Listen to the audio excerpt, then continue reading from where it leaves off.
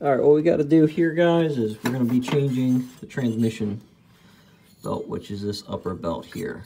Okay, so what we're going to have to do is we're going to have to unbolt this, which is the guard here, going down and around. Unbolt that, get that guard out of the way, and then we should be able to unbolt this, this, this bolt back there. There's four bolts that hold the engine down. We should be able to unbolt them, I believe, and then we can move this. You might be able to unbolt this here and pull this off, but I really don't want to try to get the shaft off the crank because it may or may not come off. I don't know. So, so I'm just going to try unbolt the engine to do it. So I'm going to go ahead and get this unbolted here so we can show you, oh, then show you guys how to do it.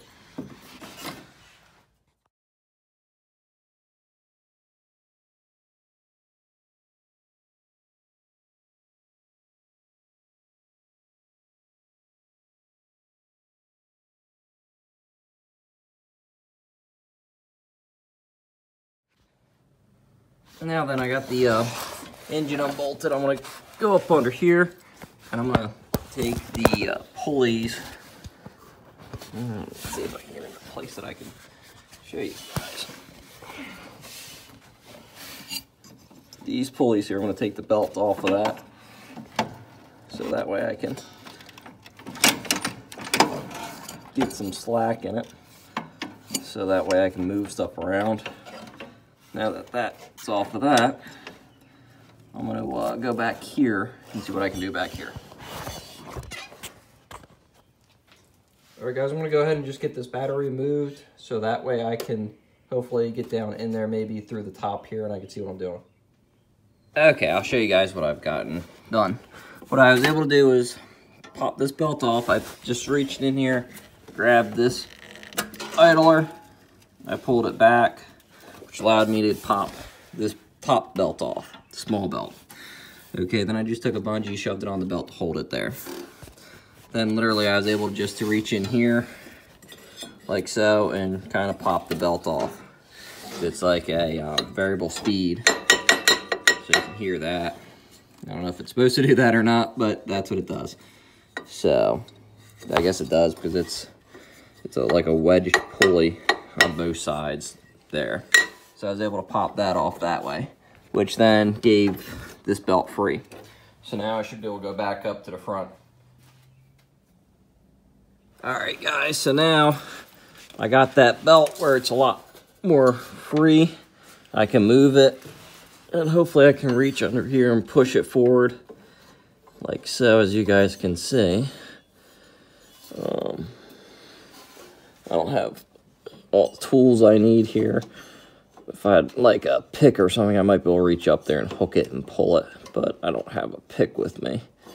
So I'm trying to see if I can maybe work the belt down like so. Okay. And then since I got the engine unbolted, I can move it like that, which hopefully I can then work it back and forth. Now let me move the engine forward a little bit so I can hopefully get it off of there. Maybe I can wiggle it. Actually, I might be able just to push it back through that way and pull it back. I don't know, we'll see. So I haven't done this before, so you guys are learning as I'm learning. But I'm hoping I can put the new belt in that way.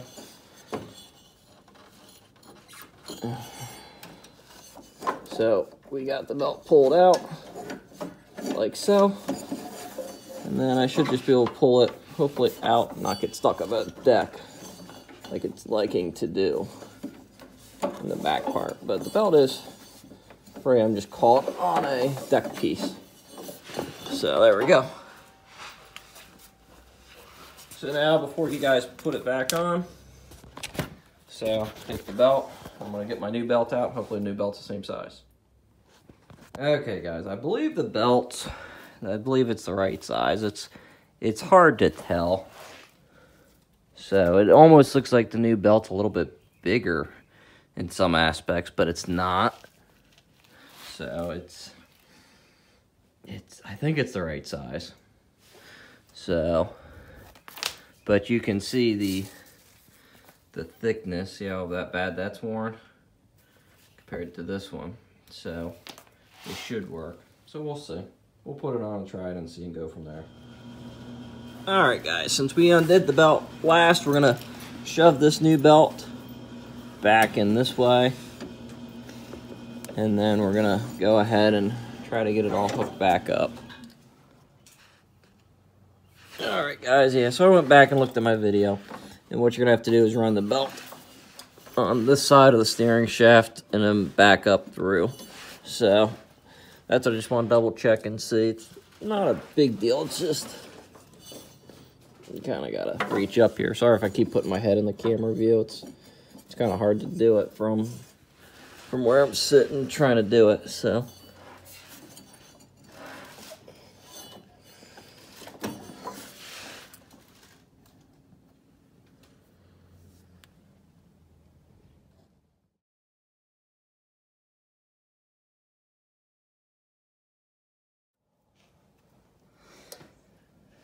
Okay guys, what I'm going to try to do here is I'm having a hard time running it up how I was hoping I could.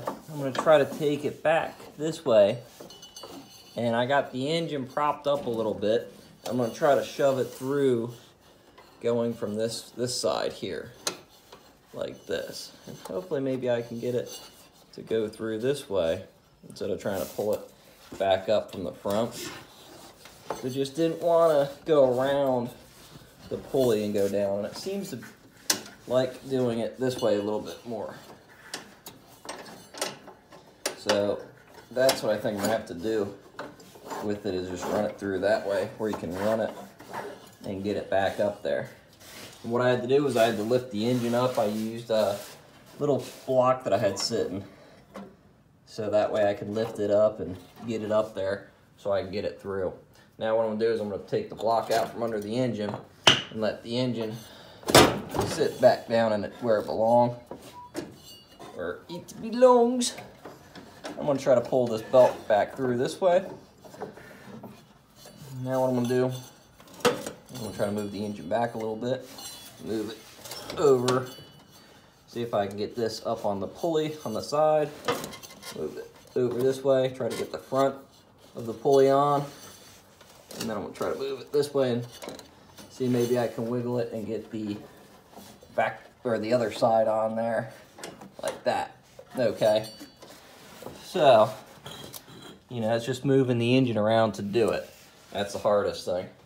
So now that I got that there, now let me pick this up and I'll show you guys here. Now, okay. So I wanted to turn my light on on the phone so that way you guys can see I got the belt ran up through there what I think I'm gonna do is I'm gonna try to hook it on the back right now. And um, then I'll do these idlers here. Um, where's my hand? Oh, the idlers there last. So I'm gonna go back here now and I'm gonna go through and try to get that belt pulled back and put on this. Okay, I got it in there. It's not really something I can easily show you, but you can see I got it sitting on the bottom side of the belt. It's shoved in there. So what I'm gonna do now is make sure that I don't have it crossed anywhere under up under there.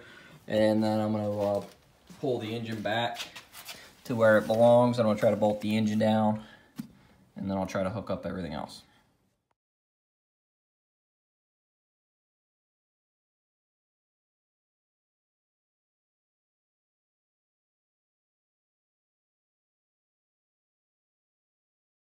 I'll show you guys I got the new belt in. I had to unbolt this pulley here, drop the pulley down so I could put the new belt through there. It was just a little bit tight fitting and didn't want to fit until I did that. So I got that ran in there. That's ran through there. So when you push the pedal, it pulls that tight, which then pulls the belt tight. So, so it should be good. So now the only thing left that I gotta do is I gotta bolt this guard that's right here. Um, there it is. I'm gonna bolt that guard back on and put the battery in. So that guard gets bolted back up to that hole, and then there's one on the other side.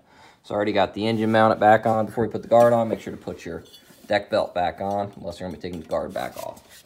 So that's about it, and I'll show you guys it.